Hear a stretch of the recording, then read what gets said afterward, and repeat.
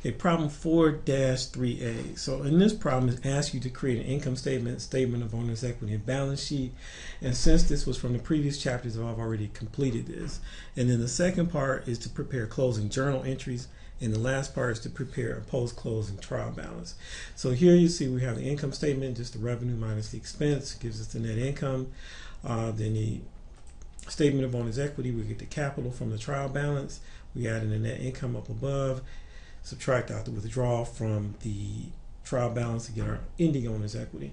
Then on the balance sheet, it says to prepare a classified balance sheet. The only thing that means is that the balance sheet is categorized by types of assets.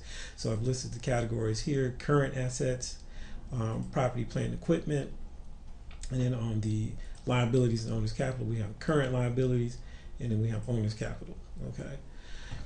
So the second part is to prepare, prepare closing entries. So temporary accounts are closed, meaning revenue, expense, and withdrawals.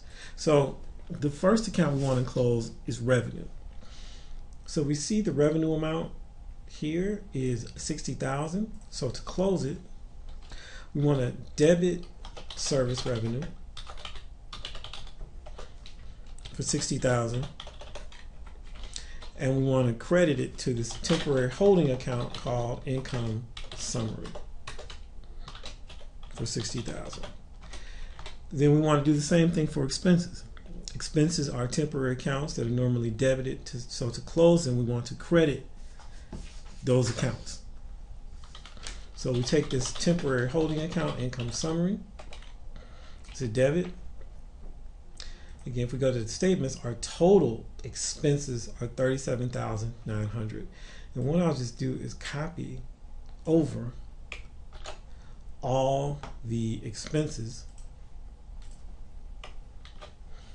And again, since they're normally me, debited, we want to close those accounts. We want to credit those accounts.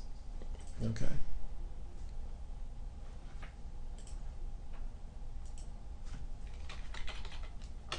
okay. Then the third thing to do now we have a balance in our income summary account. We have total credits of 60,000, total debits of 37,000. The difference is net income. So now we want to debit income summary for the amount that equals net income. And we want to credit capital. So this is the same thing as doing or updating, excuse me, statement of owner's equity where we're adding in net income. And then we want to subtract out the withdrawals. It's the last closing journal entry. So we want to debit capital, 11,000, and credit withdrawals because they were normally a credit account, a debit account, excuse me.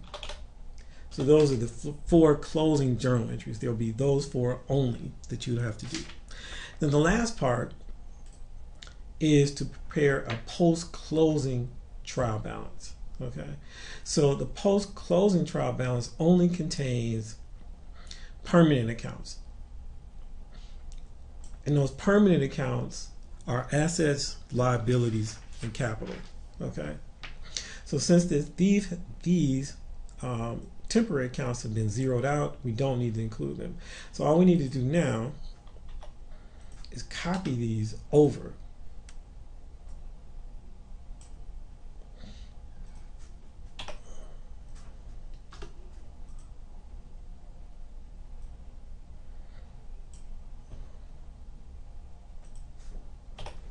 And then we just need to sum. Oops.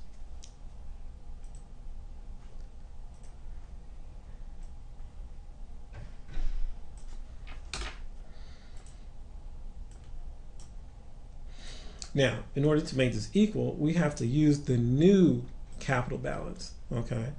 And that number is 30,600.